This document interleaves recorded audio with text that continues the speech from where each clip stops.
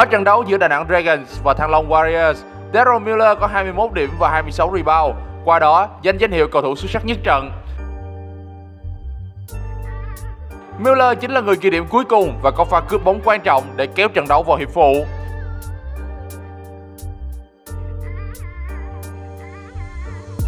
Sau đó dứt điểm trận đấu với những quả ném phạt lạnh lùng. Tuy vậy, cầu thủ 30 tuổi cho rằng mình không xứng đáng có được danh hiệu này, đặc biệt là anh dính một vài tình huống để mất bóng nghiêm trọng.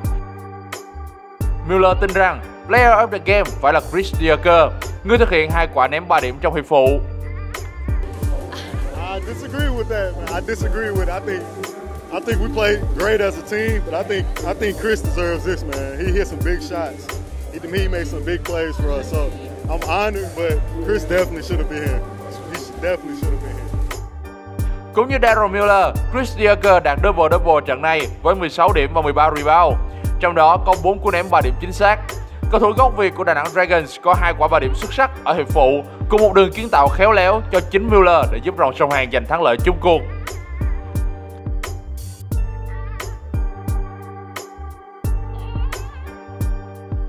Tuy nhiên, có lẽ Daryl Miller đã quên mất một đồng đội khác của mình cũng đã thi đấu xuất sắc trong trận đấu. Nhiều người hâm mộ cho rằng hậu vệ Nguyễn Hoàng Tuấn xứng đáng hơn với phần thưởng này. Không ít nội binh tại VBA đã lên tiếng cảm phục hậu vệ 22 tuổi trên trang cá nhân.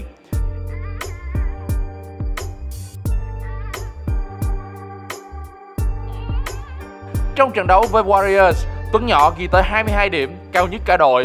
Anh đạt hiệu suất dứt điểm là 8 trên 23, trong đó có 3 tình huống ném xa chính xác. Từ đầu mùa giải VBA tới giờ, chưa có nội binh nào ghi nhiều điểm đến như vậy. Giải đáp thắc mắc này, ông Trần Chu Sa, CEO của VBA cho biết danh hiệu cầu thủ xuất sắc nhất phải được xét toàn diện cả công lẫn thủ. Trong trận đấu vừa qua, ngoại binh của Đà Nẵng Dragons tỏ ra toàn diện hơn so với người đồng đội sinh năm 1998. Chúng tôi rất ấn tượng với màn trình diễn của vận động viên Hoàng Tuấn.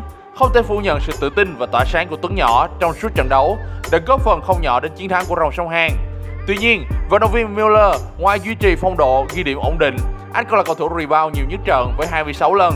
Trong trận đấu hôm qua, điểm hiệu quả efficiency của Miller đạt tới 39 so với 5 của Hoàng Tuấn.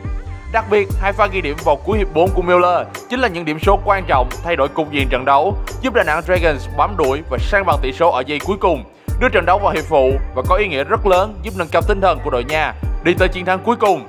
Dù không nhận được danh hiệu Player of the Game của trận đấu với Thăng Long Warriors, nhưng rõ ràng Hoàng Tuấn đang có sự trở lại vô cùng mạnh mẽ tại VBA. Anh ghi trung bình 15,3 điểm ở 3 trận đấu đã qua và là một trong những cầu thủ thi đấu nổi bật nhất của Đà Nẵng Dragons.